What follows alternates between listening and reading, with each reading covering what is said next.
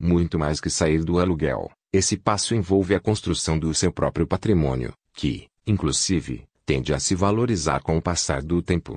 Vale lembrar do adicional de conforto e a segurança de poder desfrutar do cantinho personalizado conforme as suas preferências. O custo com moradia costuma consumir uma parte importante dos seus ganhos. Situação desconfortável atinge não só a vida financeira, mas todos os aspectos do cotidiano de quem vive de aluguel. O pagamento do aluguel é um péssimo investimento, uma vez que o dinheiro só resolve temporariamente a questão do morar e jamais retorna para o locatário. Mesmo que, no futuro, você decida não viver mais no imóvel comprado, é possível obter bons lucros ao disponibilizá-lo para outras pessoas, na forma de aluguel ou venda. Assim, uma das grandes vantagens de ter um apartamento é a possibilidade de ele proporcionar uma boa rentabilidade.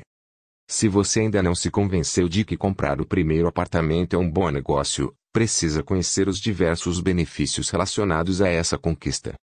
Investir em imóveis permite que você gere uma renda passiva, uma espécie de salário que não depende do seu esforço. E por mais que muita gente se esforce para comprar um imóvel, sabemos que vários não vão conseguir. Por isso, sempre haverá procura de um bom imóvel para alugar, uma demanda que raramente diminui, mesmo em tempos de crise.